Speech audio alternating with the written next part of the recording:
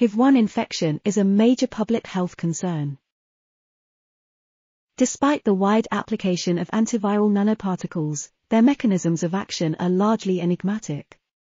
In this study, we provide a comprehensive analysis of silver nanoparticles' antiviral activity against HIV-1 using a combination of in vitro assays and clinically relevant assays.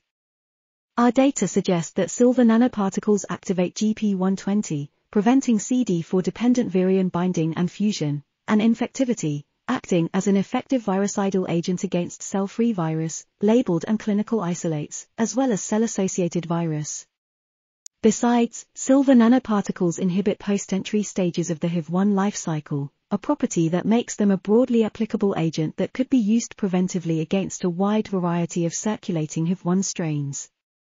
This article is titled Mode of Antiviral Action of Silver Nanoparticles Against HIV-1 and was authored by Rodriguez Padilla Cristina, Ixtepan Liliana, Ayala Nunez Nilda V. and Lara Humberto H. We are RTCL.TV. Article links can be found in the video description.